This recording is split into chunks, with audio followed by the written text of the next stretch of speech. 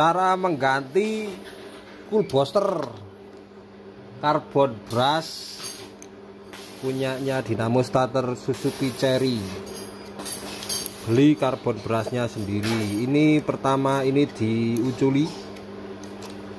Dilepas dulu ya. Bautnya ini dua. Yang ini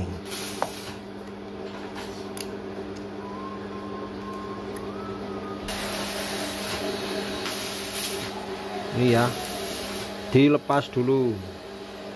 Pakai kunci 8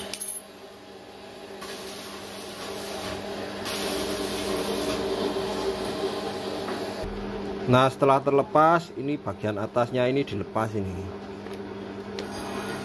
Agak susah tutup saja.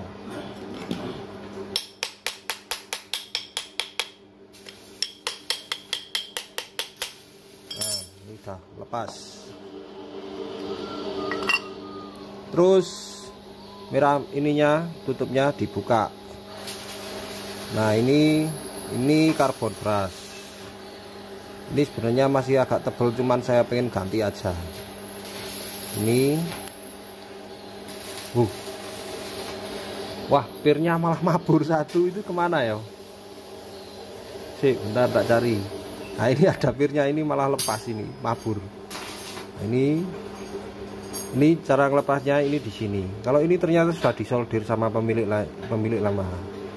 Nah ini awas. Nah pirnya lepas toh.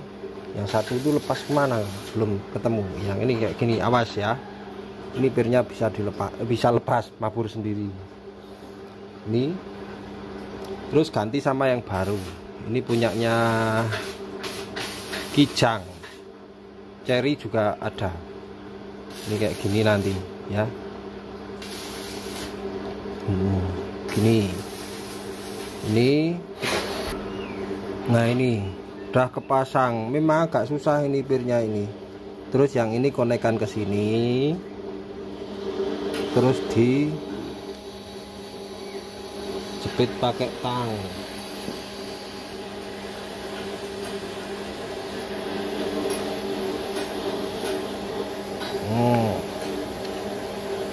nah ini kayak begini. Ini bagusnya nanti disolder nah ini yang konek ke dinamo itu disolder ya.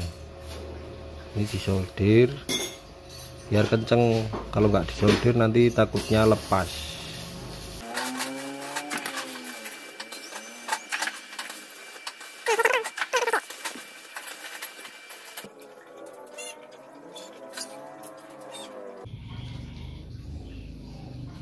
jangan lupa yang ke arah solenoid ini apa ini jenenge? Solenoid apa itu juga di anu ya disolder biar kenceng.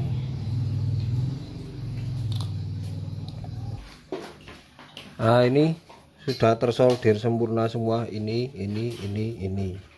Tinggal pasang pernya. Ini. Tapi pernya yang satu itu hilang tadi. Ke mana ya udah ketemu pirnya wah pusing aja. Hilang pasang sekarang.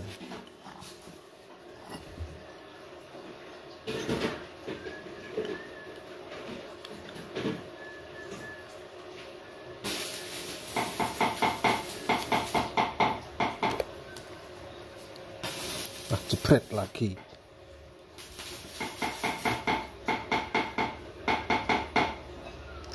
nah ini sudah terpasang semua empat. Ini sudah disolder semua. Tutup lagi pakai merah-merahnya. Nah teplek. Pasang tutupnya.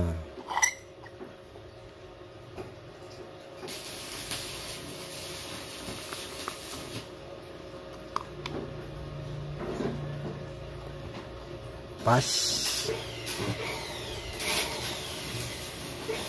lalu pasang bautnya.